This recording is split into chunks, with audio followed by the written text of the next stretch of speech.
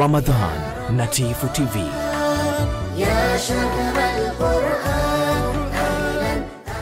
Mpenzi mtazamaji, kama ndio kwanza nafungua chaneli yako ya Tifu TV, tafadhali subscribe ili uwe mwanzo kupata video zetu mbalimbali za ndani na nje ya nchi. Share video hii bila ya kusahau kudondosha komenti yako, kwani ni muhimu sana. Assalamu alaikum warahmatullahi wabarakatuh. Bismillah, salatu wassalamu ala rasulillah ashabihi wa man walah wa ba'du. يا رب لك الحمد كما ينبغي لجلال وجهك والعظيم سلطانك سبحانك. لا نحصي ثناء عليك. أنت كما أثنيت على نفسك. فلك الحمد حتى ترضى ولك الحمد إذا رضيت ولك الحمد بعد الرضا. اللهم صل وسلم على سيدنا محمد في الأولين وصل وسلم على سيدنا محمد في الآخرين وصل وسلم على سيدنا محمد في كل وقت وحين وصل وسلم على سيدنا محمد في الملأ الأعلى إلى يوم الدين وبعد. Ikiwa tunaendelea au tunahitimisha darsa zetu za Ramadhani za hapa msikiti nambari tunayofanya siku ya Jumamosi. Katika darsa zilizopita tuliwahi kuzungumza fadhila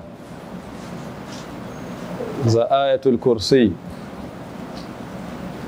na tukasema kuwa ni adhamu aya aya iliyokuwa tukufu sana katika Qur'ani, aya iliyokuwa kubwa sana inayotaka kusomwa sana na watu waitumie sana. Tukatoa tafsiri na tukatoa fadhila na tukawa tuna tunafanya tadabburu walau iliyokuwa chache. Tukasema aya hii imeanza na ismu jalala, kwa jina lake kubwa Allahu jalla waala mwenyewe akasema Allahu la ilaha illa hu, hakuna anayestahiki kuabudiwa kwa haki isipokuwa yeye. Hakuna anayestahiki kupendwa kwa haki asiyekuwa yeye. Hakuna anayestahiki kuombwa isipokuwa yeye, wala hakuna anayestahiki kukimbiliwa na kurudiwa isipokuwa yeye Allahu jalla waala. Alhayyul Qayyum katika sifa zake na majina yake alionayo matukufu makubwa ni kwamba Allah aliye hai. Al-Qayyum mwenye kusimamia mambo. La ta'khudhuhu sinatun wala naum. Allahu Jalla waala haumchukui usingizi wala kulala. Na tukasema kwamba si halali tu kwa sababu hana usingizi, lakini la yambaghi lahu an yanam, ni mustahili kwake Allah jalla waala kulala, haipaswi kwake kulala. Lahu ma fi samawati wa ma fi lard, ni vyake yeye vyote vilivyomo ndani ya mbingu na ardhi na mbingu na ardhi zenyewe. Tukaitafsiri Ayatul Kursi mpaka hapo. Leo tuendelee walau kwa uchache tuimalize na kutizama Allahu Jalla waala amekusudia kutuambia nini katika adhamu aya aya hii. Lahu ma fi samawati wa ma fi al-ard man dha ladhi yashfau indahu illa biidhnih. Allahu Jalla waala anauliza maanaye unamwambia mtu man anta, wewe ni nani, kwa kuwa humjui.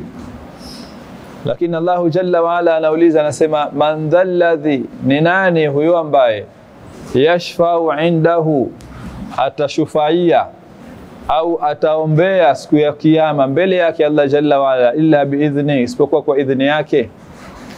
Lakini Allahu jalla waala akuuliza kwake, si haulizi kwamba hajui, anauliza kwa inkari anauliza kwa kupinga tafsiri ya aya kwamba hakuna atakayeweza kushufaia mbele ya Allahu jalla waala siku ya Kiyama isipokuwa kwa wale ambao watapewa idhni. Wanazuoni wakasema babu shafaa aya zimekuja nyingi sana katika Qur'ani. Na hadithi za Mtume sallallahu alaihi wasallam pia zimekuja nyingi sana, bali mpaka katika muamalati wa kidunia katika fikihi kuna mlango wa babu shufaa, mlango wa watu kuombeana, na katika hali ya kawaida lazima tufahamu nafasi ya mwenye kuombwa na nafasi ya mwenye kuomba katika uombezi. Sasa ikiwa Allahu Jalla waala amesema siku hiyo hawatawaombea watu isipokuwa wale ambao kawapa idhini yeye, manake hao ni watu wake wa karibu, ni vipenzi vyake. So kila mmoja siku ya Kiyama atapata nafasi ya kuombea.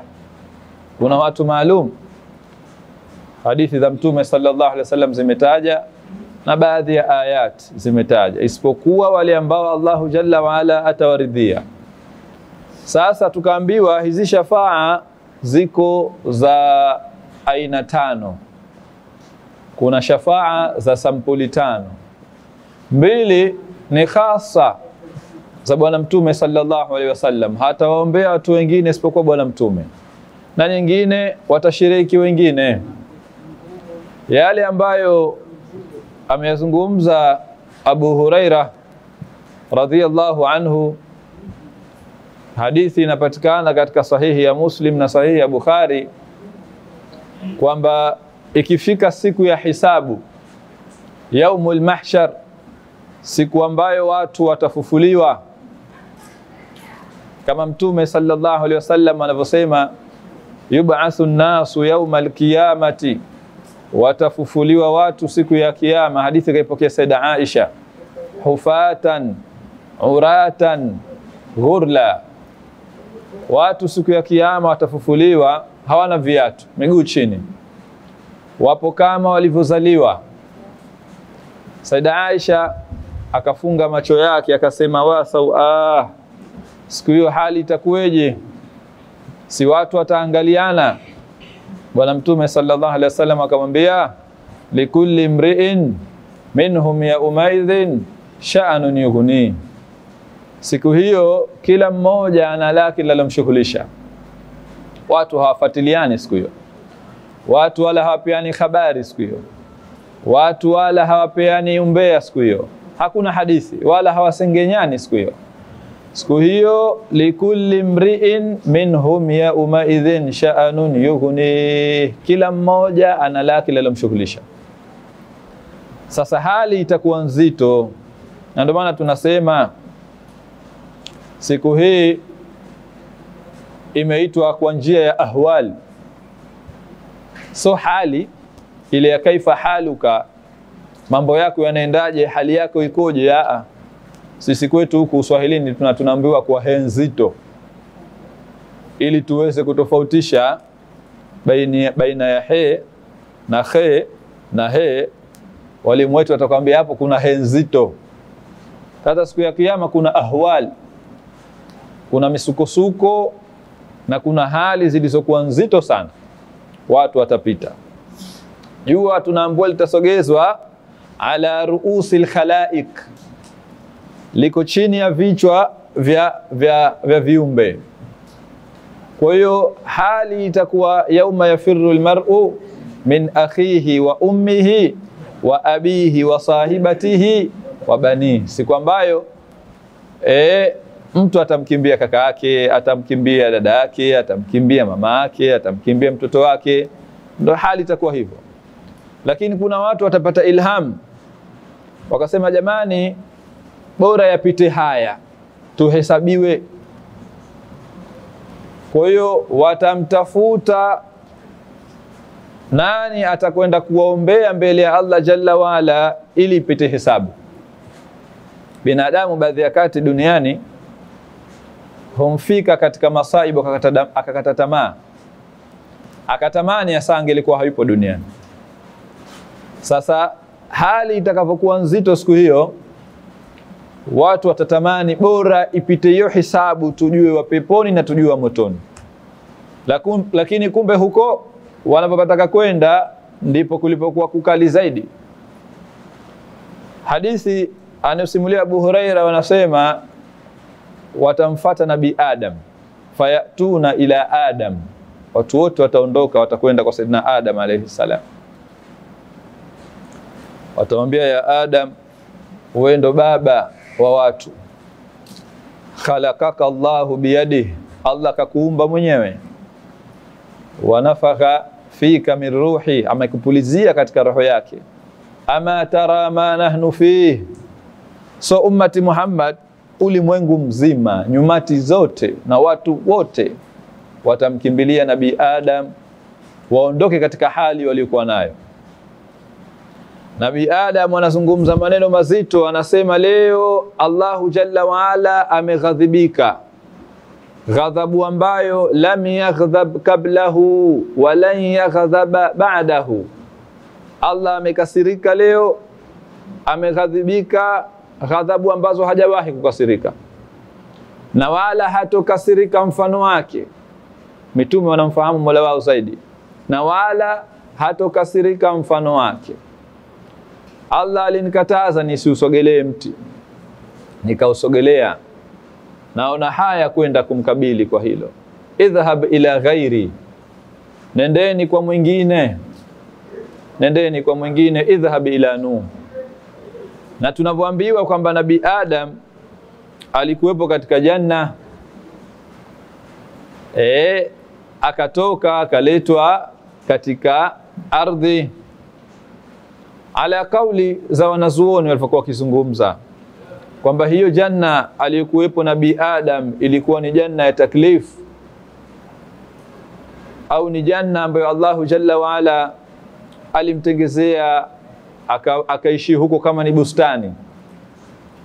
Wanazuoni wengi wamekataa kwamba haikuwa janna ya taklifu hiyo ambayo tunataraji sisi inshallah tuingie. Allah tujalie miongoni mwa hao. Wanazuoni wanasema hivyo kwa dalail tofauti ya kwanza kwamba atakayeingia janna hatoki. Allah jalla waala kaiumba janna kuwa ni mahali pa khulud, hakuna kutoka wala hakuna kufa. Lakini pia dalili nyingine waliosema kwamba hiyo janna alikuwepo Nabii Adamu akatolewa, sio janna ambayo wataingia watu, ilikuwa si sehemu ya amali ya kuandikiwa watu mabaya na maovu. Ingelikuwa ni hiyo, basi angelibaki huko huko lakini jengine kwamba kufika sheitani na ibilisi mpaka akawatia taziin na kuwashawishi Nabii Adam na Nabii Hawa. Kwa hiyo kwa aliyoyafanya na Allah jalla waala akamsamehe, lakini pia kuna kauli kuhusiana na makosa wanayofanya mitume yeah, yanachukuliwa kama hivi tunavyofahamu si makosa. Allah jalla waala kamsamehe Nabii Adam, thumma jtabah kisha akamchagua akawa mtume mkubwa. Kwa hiyo anasema siwezi mimi kwenda, idhhab ila ghairi, nendeni kwa mwingine. Idhhab ila Nuh, nendeni kwa Nuh. Watu wataondoka siku hiyo, watamfata nabii Nuh. Wakienda kwa, kwa nabii Nuh watamwambia wewe ndo mtume wa kwanza, na Allah jalla waala amekuita abdan shakura ndani ya Qur'an. Ama tara ma nahnu fihi huoni hali tuliyokuwa nayo ewe Nuh. Nabii Nuh na yeye atakariri maneno yale yale, anasema leo Allah ameghadhibika, hajawahi kughadhibika mfano wake, na hatoghadhibika ghadhabu alizonazo mfano wa leo. Lakini naogopa kwenda kukuombeeni shufaa, kwa sababu nilimuuliza Allah masala bila ilmu. Hadithi ya Mtume sallallahu alaihi wasallam inataja hivi, Nabii Nuh wakati Allahu jalla waala amemtuma na Qur'ani inatuambia akawalingania watu wake akifanya da'wa miaka mia tisa na hamsini. Yeye anafanya da'wa tu, anawalingania watu wake, semeni la ilaha illa Allah, na hajachoka mpaka Allah alipompa amri aondoke na watu wake atengeze jahazi, na wakawa wanamfanyia istihzai kwamba ya Nuh asirta najaran baada an kunta nabiya. Nuh, sasa hivi umebadilika, umekuwa seremala. Ulikuwa mtume zamani, ukitujia hapa semeni la ilaha illa Allah. Sasa hivi naona umeacha kazi ya utume, umekuwa seremala. Nabii Nuh anamwambia kuna gharika kubwa itatokea, silimuni. Hawakumwelewa. Sasa Nabii Nuh wakati Allahu jalla waala anampa amri atengeneze jahazi lake na tayari aondoke na jahazi lake, akamwita mwanawe.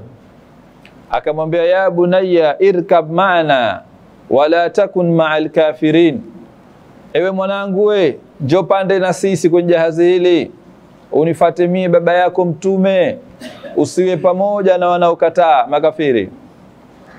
Mtoto kasema saawi ila jabalin yasimuni min alma, ambia mi baba, nitapanda juu ya jabali kubwa lile, maji hayafiki kule. Akaambia hakuna kunusurika na amri ya Allah jalla waala. Kwa hiyo maji yakaja, akapanda kwenye jabali yule mtoto, na gharka ikamchukua. Nabii Nuh akazungumza na Mola wake, ya Rabbi, umeniambia nichukue watu wangu na ahli zangu, na huyu mtoto ni katika watu wangu. Allahu jalla waala akamwambia, innahu laisa min ahlik. Mtume Allahu jalla waala anampa shahada, anamwambia huyo si mwanao, si mtoto huyo, innahu amalun ghairu salih, matendo yake si mema, so mazuri, si mwanao huyo. Alafu Allah jalla waala akaambia Nabii Nuhu, usiniulize mambo ambayo huna ilmu nayo. Nabii Nuhu akajikinga mbele ya Allah jalla waala na akamwomba msamaha, ya Rabbi nihifadhi na kukuuliza vitu ambavyo sina ilmu nazo. Kwa hiyo anamwambia idhhabi ila ghairi, nendeni kwa mwingine, mie siwezi kwenda kufanya shufaa.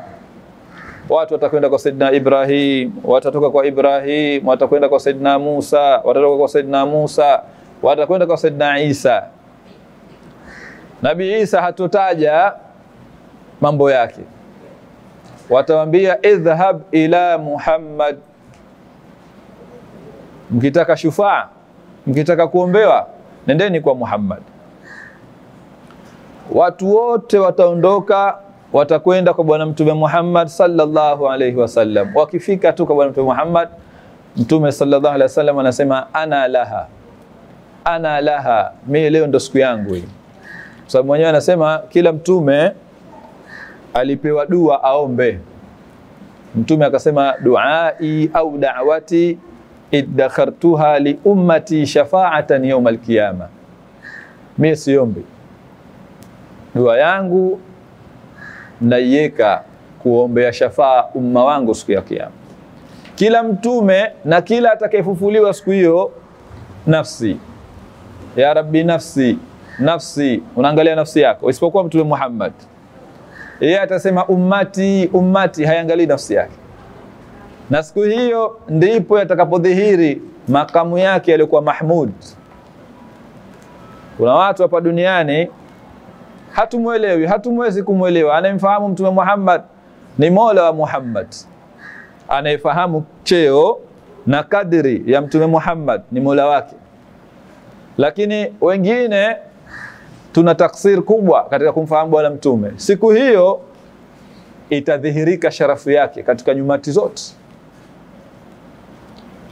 Kwa hiyo Bwana Mtume sallallahu alaihi wasallam anasema ana laha, ana laha, na Allahu jalla waala siku hiyo jinsi itakavyokuwa kubwa ndani ya Qur'ani anasema yauma yajma'u Allahu rusula, siku ambayo Allahu jalla waala atawakusanya mitume yote. Fayaqulu madha ujibtum, awaulize mitume mmejibiwa nini huko ardhini mlivyokwenda kufanya dawa. Qalu la ilma lana, mitume watasema ya Rabbi, hatuna elimu. Innaka anta allamul ghuyub, wewe ndio mwenye kujua kila kitu. Wanazuoni wanasema wameajibu haya kutokana na hauli, shida na mashaka na uzito wa siku hiyo, si kama hawayajui ambayo waliotumwa na walioyafanya, lakini wajibu nini mbele ya Allah jalla waala na hali nzito kiasi hicho, ila kwa bwana mtume sallallahu alaihi wasallam, mtume anasema ana laha, hii leo siku yangu, hii leo siku yangu.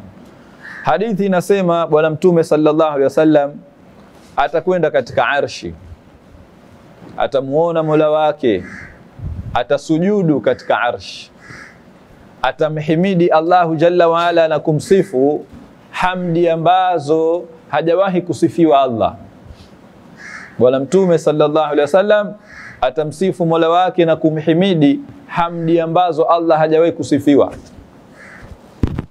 Alafu atasikia sauti Bwana Mtume Muhammad anaambiwa, ya Muhammad irfa ra'sak, Muhammad nyanyua kichwa chako, wasal tu'ta, na omba unachotaka utapewa, washfa tushaffa, na waombee uombezi wako utapita.